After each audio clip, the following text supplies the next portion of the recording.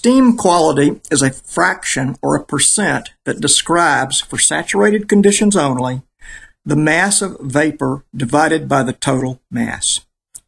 Here, m sub g is the mass of the vapor and m sub t represents the total mass of liquid water and water vapor. The word vapor and steam are used interchangeably. They both refer to the gas phase of the mixture. Traditionally, we use a subscript F for fluid to refer to the liquid part of the biphasic mixture, and we use the subscript G for gas in referring to the steam or vapor portion of the mixture. A quality factor of 1 is all steam, and a fraction equal to 0 is all water. Water vapor does not behave very closely to an ideal gas as temperature goes up, and so we use water tables, also called steam tables, to find specific volumes VF and VG. VF is specific liquid volume from a table lookup. We want units of cubic meters per kilogram. VG is specific vapor volume from a table lookup. Again, SI units are meters cubed per kilogram. V is a fixed volume in cubic meters of a container. In practical situations, we usually are given this. MF is the mass in kilograms of the liquid portion of the water-steam mixture. Remember, F stands for fluid. mg is the mass in kilograms of the vapor portion of the water-steam mixture. G stands for gas. mt is the mass in kilograms that is the total mass in the system. That's the liquid plus the gaseous or vapor portion.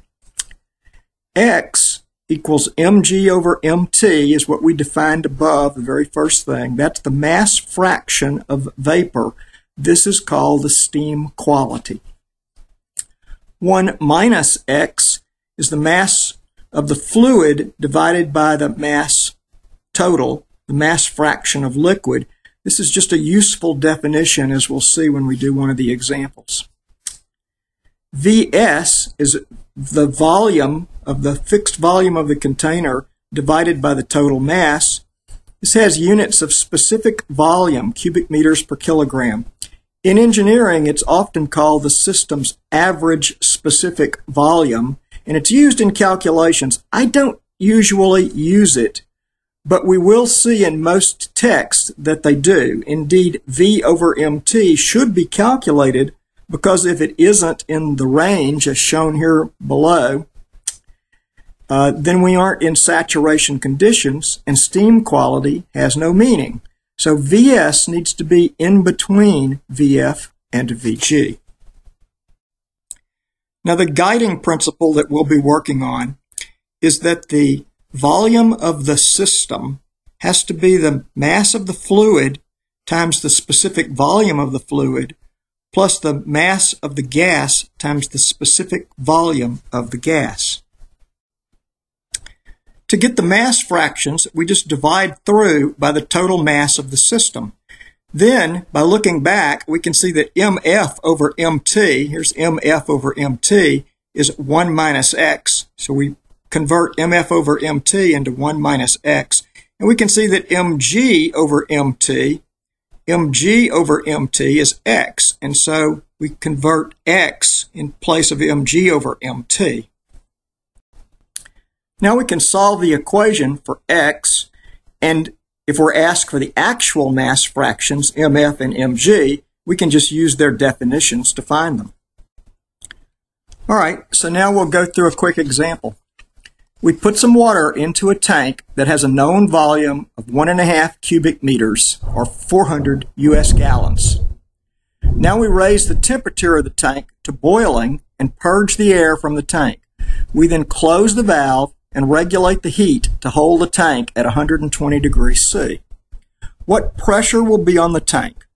The tank is on tared load cells and after purging has a total container weight of 2.424 kilograms. What is the vapor quality above the water and how much liquid water is in the tank? Going to a water table, we find the following data. at a temperature of 120 degrees C, we find a pressure of 198.5 kilopascals. Now, I used Google to convert that into PSIA, which is 28.79. That's absolute PSI. I needed PSIG, so I subtracted uh, 14.6 from it, or 14.7, I forget, and that gave me 14.09 PSIG. Then, in that same table, I found VF, the specific volume of the fluid, and I found VG, the specific volume of the gas, all at that temperature. Now we just plug our values into our vapor fraction equation.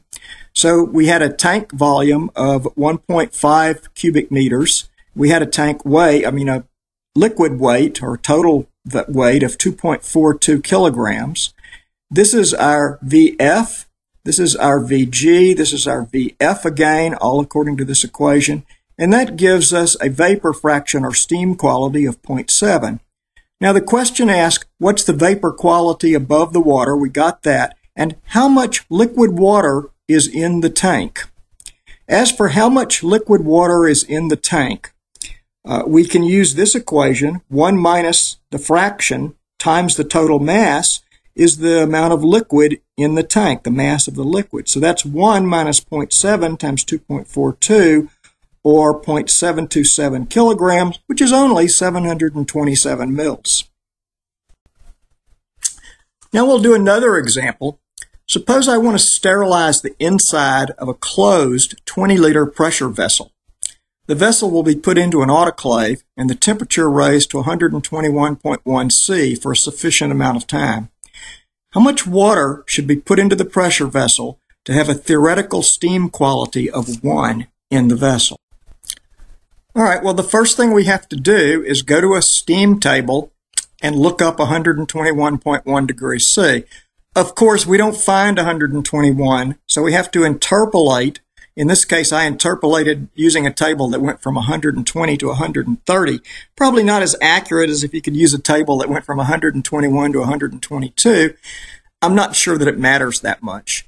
Anyway, I found a pressure of 206.38 kilopascals. I got a specific volume as shown here for the fluid, and I got a specific volume as shown here for the gas. I also had to convert my 20 liter pressure vessel into cubic meters, and I get 0.02 cubic meters. Now, our guiding equation is this fraction right here, and so what we want to do is plug everything in. Well, I plug in 1 for the uh, theoretical steam quality. There's the vessel volume. Mass is what I don't know. Total mass, how much water to put into the can is what I don't know. And then I use VF, VG, and VF. So what we're going to do is solve this equation right here for mass, M, M sub T, and we get mass to be volume of the can over specific volume of the gas minus specific volume of the fluid times our fraction, which is 1, if you'll recall, plus the, uh, the fluid specific volume. So that's going to be 0.02 cubic meters over Vg minus Vf times 1 plus Vf. And that gave me 0.02306 kilograms, which is only 23 mils in that 23 liter vessel. As a check, we should compute V over M's T and, and we've done that right here. This is to make sure that we will be within saturation conditions. So we compute that and we get 0.8673. Then you want to put that number in between the specific volume of the fluid and the specific volume of the gas and make sure it meets this equation. Well, it does, just barely, but then that's what you expect since we were trying to get a steam quality of 1. Now, we could have done the same thing using the ideal gas law. Here I've written the ideal gas law, and what we're going to do is compute the moles of water that are required at these conditions. We would still have to look in a table and interpolate to find the pressure at 121.1 C, but having done that, I put the pressure here, I put the volume of our can, I use the universal gas constant, and I've written the temperature, 121, in Kelvin degrees, That gives me 1.259 moles. You multiply the moles of water times the molecular weight of water of 18 grams per mole, and you get 22.67 grams. As I said, it's slightly less accurate, and that's because the uh, universal gas law doesn't really hold for water vapor when the temperature starts to increase.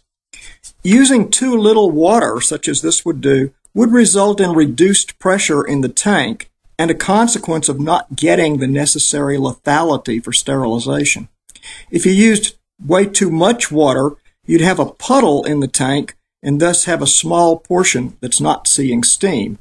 Ideally, you should just calculate it and use the right amount of water. I hope you've understood this video. If you have questions, you can leave them in the comments. Other than that, press subscribe if you like it. Thank you.